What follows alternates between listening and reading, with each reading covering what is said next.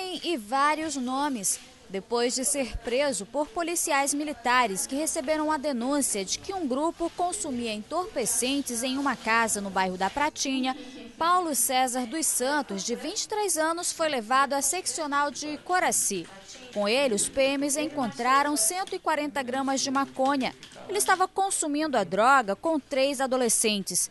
Na delegacia, o acusado deu mais de cinco nomes diferentes à polícia na tentativa de enganar a justiça. Já deu, já deu vários nomes aqui, ele foi pego com certa quantidade de droga, deu vários nomes. Então ele deu Paulo César, Paulo Sérgio, está sendo autuado em flagrante pelo tráfico de droga e vai ficar à disposição da justiça aí. Ao conversar com a nossa equipe, Paulo também assumiu ser viciado e chegou a dizer que estava consumindo entorpecente assim que a polícia chegou, mas na hora de gravar, ele resolveu mudar a versão e negou qualquer envolvimento com o crime. O que você estava fazendo para a polícia te trazer para cá? Nada. Nada? Então por que eles trouxeram para cá se não estava fazendo nada? Pois é. Me trouxeram mesmo, só me viram lá e tal. O que ele estava fazendo? Nada.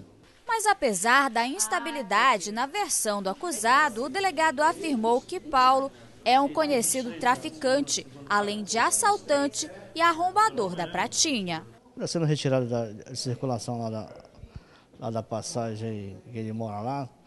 E, consequentemente, o pessoal vai ficar tranquilo, vai dormir tranquilo por lá, porque ele é assaltante, é arrombador, então o pessoal vai ficar tranquilo por lá. Clínica geral.